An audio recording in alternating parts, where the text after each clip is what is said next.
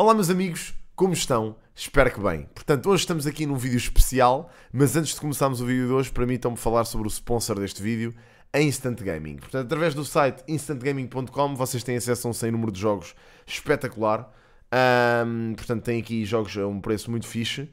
E pá, o site é 100% seguro, 100% porreiro. Portanto, as chaves chegam logo no momento. Um, pá, tem um customer support muito bom. Eu costumo fazer as minhas compras todas aqui. Vocês já sabem a mesma linha, linha do costume, se costumam acompanhar. Já sabem que eu costumo fazer referência à Instant. Eles têm aqui boas campanhas de lançamento agora, uh, nomeadamente aqui a do, do Sims 4 Growing Together, que é uma nova expansão do Sims. Pá, pronto, tem um, uma carrada de jogos a preços muito bons. É comprar, basicamente. É isso. Portanto, indo para o vídeo. Hoje estamos aqui para falar sobre uh, influencers. Mas pá, não é de uma forma geral, é de uma forma específica. Eu confesso que eu não sabia quem era esta pessoa, ok? Até hum, tropeçar uh, no post dela. Mas basicamente uh, descobri uma senhora chamada Madalena Abcacis, ok? Que uh, aparentemente ficou insatisfeita com uma situação que lhe aconteceu. Portanto, vamos ouvir o que, é que aconteceu à senhora Madalena uh, pá, e depois vamos tirar as nossas próprias conclusões. E fico parva, meu! Vocês fazem passar vergonha! Os únicos comentários maus que há são de portuguesas. Isto, é, isto está a ser, neste momento, são 8h44 da manhã e eu estou a dar a pisada da Lena. Porque acho incrível que vocês veem uma pessoa feliz, uma pessoa, vocês seguem-me, gostam de mim, não é? Veem que eu estou feliz porque conheci uma pessoa da qual eu sou fã. Sou mesmo fã dele. Estou feliz. E vocês vão para lá, mas quem é que é este Theo? Nunca ouvi falar deste Theo. Mas ele faz o quê? Mas ele é professor? Ele é músico? Ele canta? Ele borda? Ele fode? Ele come? Ele. O que é que. Malta, eu sou influencer. Se na vossa mente os influencers não fazem um caralho, eu também não faço um caralho. Portanto, quem não gosta dele também não gosta de mim. E eu juro que fiquei ofendidíssima e só me apetecia apagar os comentários todos, porque é uma vergonha Percebem? Porque todas as brasileiras que estavam a seguir o Theo e que viram, porque a fotografia está partilhada nos dois grupos, toda a gente diz: Ah, olha, não conheço a Madalena, vou lá ver. Olha, já estou seguindo a Madalena. Olha, não sei o que. Não, não. E vocês? Todas peneirentas, armadas em boa. Ah, mas quem é que não sei o quê? Mas tanto estrismo por cada. Pá! Até podia ser o Batatinha. Percebem? Até eu gosto. Se eu gostar do Batatinha, se eu quiser fazer um banquete para o Batatinha e, e toda a gente ir lá ver o Batatinha à, à puta da minha casa, vão. E eu queria mesmo apagar os comentários, só que não consigo, porque eu juro, juro que fica com vergonha. É uma vergonha, sinceramente, não percebo qual é que é o vosso problema, de algumas pessoas, porque outras não, outras tantas amorosas e não sei o quê. Pá, não gostam, pá, isto é como tudo, não gostam, não veem, não seguem, não... A sério, estamos em 2023. Qual é que é o problema? Porra, se vocês ficam contentes quando veem o vosso marido a chegar a casa ou quando vão ao talho ou que vão de não sei o quê, eu vou lá dizer, mas quê? Mas tanto estrismo porque vais ao talho? Pá, Caramba! Que, que parece que ficam uh, fodidas de ver as outras pessoas felizes. Sinceramente, e acho que é uma, uma má onda. Pá, sou sincera. E eu não costumo estar tão assim, tão chateada, mas acho que fiquei mesmo, fiquei mesmo triste. Fiquei triste com, você, com as pessoas que comentaram. E, eu, e fiz mais, como eu não conseguia apagar os comentários porque eu ia apagar e não deu, porque foi o Theo que partilhou. Eu, uma a uma, eu tive a ver quem eu sinto que íamos chegar aqui a uma parte muito interessante em que ela ia dizer que viu uma a uma as pessoas que comentaram e agora seguiu-as até casa para, sei lá, para fazer um ritual qualquer. Pá, é assim, este, este vídeo tem dois, tem aqui dois pontos, ok? Na minha opinião, temos que separar ambos. Primeiro, eu não faço a mínima ideia quem é esta senhora, nunca vi nada desta senhora, desta Madalena Cassis. Já percebi que deve ser uma influencer qualquer de Instagram, ainda não percebi o que é que ela faz, na verdade também. Portanto, não sei muito bem se ela. Pá, não sei. Não sei o que é que ela faz, honestamente. Não sei se é daquelas influências que não têm conteúdo, mas. De qualquer das formas, pá, pronto. Enfim, vamos só assumir que sim.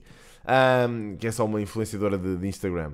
Pronto, conclusões da vida. Basicamente, esta senhora ficou lixada porque partilhou uma fotografia com um gajo qualquer que é o Tel, também não faço a mínima ideia quem seja, um brasileiro qualquer também influenciador. Uh, acho que ele veio cá a Portugal e teve com ela e, e ela partilhou uma fotografia com ele e as comunidades juntaram-se. E entretanto, as pessoas foram para lá perguntar quem era a pessoa. Portanto, aqui há dois pontos: que é as pessoas que vão lá perguntar, olha, quem é este gajo, eu não sei quem é, que é válido, perfeitamente, ninguém sabe quem é a pessoa em causa, eu pelo menos nunca ouvi falar. Uh, e as pessoas que vão lá dizer, ah, tanto esterismo por causa deste gajo. Pronto, isso aí já é outra coisa, ok? As pessoas que vão lá dar hate e as pessoas que vão lá perguntar legitimamente quem é, quem é este gajo. Pronto, eu acho que ela ficou lixada pelas pessoas não saberem quem era o gajo. Pronto, porque ela gosta muito dele, é muito fã e ficou lixada. É mesmo que uma pita de 14 anos, quando nós dizíamos que não sabíamos quem eram os Tokyo Hotel, elas ficavam lixadíssimas, ok? Pronto, é a mesma coisa, se eu disser que não conheço uma banda de K-pop, há de haver pessoas que ficam lixadas comigo. Pronto, eu acho que a Madalena reagiu da mesma forma, ok? Vou ser sincero convosco. Pá, depois toda esta postura, de... desculpem se me passou mal a imagem, mas a mim pareceu uma tia de Cascais revoltada com uma situação. Pronto, pá, peço imensa desculpa se não for o caso, mas parece mesmo a forma de falar e tudo mais, um, pá, é muito referente. E, pá, e daquilo que eu estou a perceber, pronto, as pessoas, a legitimidade das pessoas perguntarem quem é a pessoa não faz com que a Madalena se tenha que chatear com isto. Portanto, aqui há um pau de dois gumes, porque eu também acho que a Madalena, até certo ponto, acaba por ter alguma razão no sentido em que realmente o português é mesmo assim. O português não pode ver uma pessoa contente com alguma coisa que vai sempre lá mandar abaixo. E isto acontece em tudo, não é só nas publicações da Madalena Abcacis, é em literalmente tudo aquilo que é conteúdo na internet, mesmo aquele conteúdo mais wholesome, há sempre um gajo qualquer que vai lá dizer ai, mas isto é uma grande porcaria porque não sei quê, não sei quê, não sei quê, não sei quê. Pronto, há sempre, sempre, sempre. E eu não digo que seja só o português, na verdade até é quase toda a gente do mundo, mas o português em especial é muito assim, ok? Não pode ver mesmo ninguém contente que vai lá sempre mandar abaixo. Pá, portanto, ela até tem um ponto válido nessa questão, só que a forma como ela abordou esta situação toda eu acho que foi muito má. Primeiro, eu não sei quantos seguidores é que esta Madalena Abcacis tem, mas daquilo que eu percebi ela tem verificado no Instagram, portanto ainda deve ter alguns. Ah, e eu pergunto assim, agora vocês estão a ver o Muxo ir à caixa de areia, que é sempre uma cena muito entertaining. De qualquer das formas, é pá, imaginem, eu pergunto já, esta senhora já não é influenciadora digital há, há tempo suficiente para saber que isto acontece na internet? A reação dela parece-me tão, pá, tão estranha. Parece que ela nunca fez isto. Começou ontem e agora de repente tem haters. Ai meu Deus, pessoas que não gostam de mim. Pá, depois eu gostei do conceito dela. Ah, vocês cheguem, portanto gostam de mim. Isso não é bem assim. Madalena, não sei se tem que, tem que lhe dizer que não funciona assim a vida. Mas, mas pronto, mas tudo bem. Uh... Pá, mas eu estou a gostar muito de ouvir o teu xixi. Está a ser muito interessante. Uh... Conclusões. Epá, e depois também gostei daquela, daquela analogia que ela fez das pessoas que vão ao talho e ficam felizes ou que vêm o marido a chegar a casa e ficam felizes, que é mesmo, pá, de senhora que vive no planeta, num planeta que não o Terra, ok? Ah, e que basicamente para ela, todas as pessoas que não ela, são pessoas que têm uma vida tão banal que ficam felizes por ir ao talho. Gostei muito desta comparação, Madalena, sim senhor, adorei. Portanto, mesmo a dizer que estas pessoas não têm vida absolutamente nenhuma se não ir ao talho, gostei. Portanto, só faltava dizer esta gentalha que é aquilo que eu estava à espera de ouvir.